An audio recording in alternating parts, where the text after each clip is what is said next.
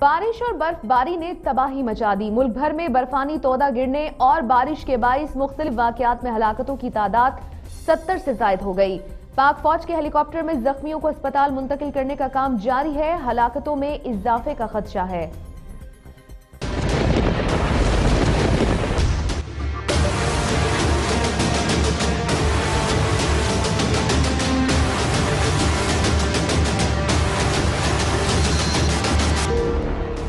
ملک کے مختلف علاقوں میں شدید بارشوں اور برف باری نے تباہی مچا دی۔ آزاد کشمیر اور بلوچستان میں پیش آنے والے مختلف حادثات اور واقعات میں ستر افراد اپنی جان سے ہاتھ دھو بیٹھے۔ این ڈی ایم اے نے اپنی رپورٹ میں بتایا ہے کہ آزاد کشمیر میں پچپن افراد جاں بحق اور پانچ افراد تاحال لاپتہ ہیں۔ سب سے زیادہ ہلاکتیں بکولی اور سیری میں ہوئی جہاں اٹھائیس افراد لقمہ اجل بنے۔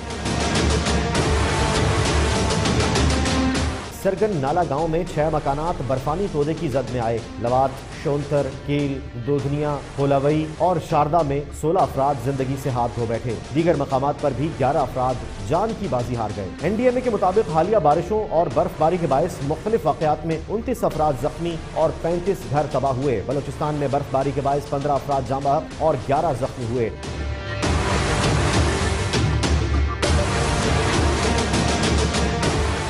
خیبر پختونخوا میں تین افراد زخمی، جبکہ پانچ گھروں کو نقصان ہوا۔ وادی نیلم کے ایک ہی گاؤں سرگن بگوالی میں انیس افراد برفانی تودے میں دب کر جاں بحق ہوئے۔ نیلم اور لیپا سمیت بالا علاقوں میں ٹیلی فون اور بجلی کا نظام درہم برہم ہو گیا۔ مختلف اضلاع کی رابطہ سڑکیں بھی برف باری کے باعث بند ہیں اور عوام گھروں میں محصور ہو کر رہ گئے ہیں۔ وزیر مملکت disaster management authority Ahmed Raza Qadri نے میڈیا سے گفتگو کرتے ہوئے بتایا کہ آزاد کشمیر میں بارش اور برف باری سے پچپن افراد جاں بحق ہو چکے ہیں۔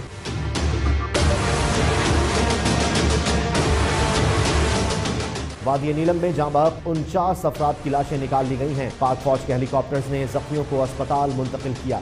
برف تلے دب جانے والے افراد کی تلاش کے لیے بھی ریسکیو آپریشن جاری ہے۔ ہلاکتوں میں اضافے کا خدشہ ظاہر کیا جا رہا ہے۔